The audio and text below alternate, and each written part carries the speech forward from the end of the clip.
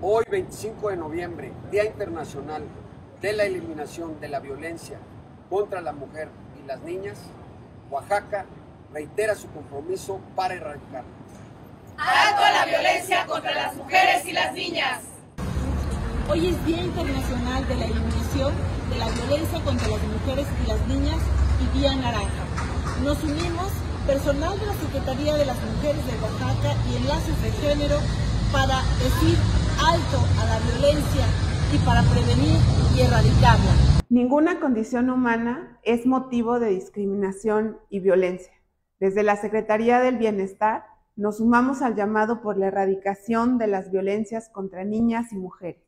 Sumemos esfuerzos para construir una cultura de paz en donde las niñas y mujeres puedan vivir seguras. Alto a la violencia de género.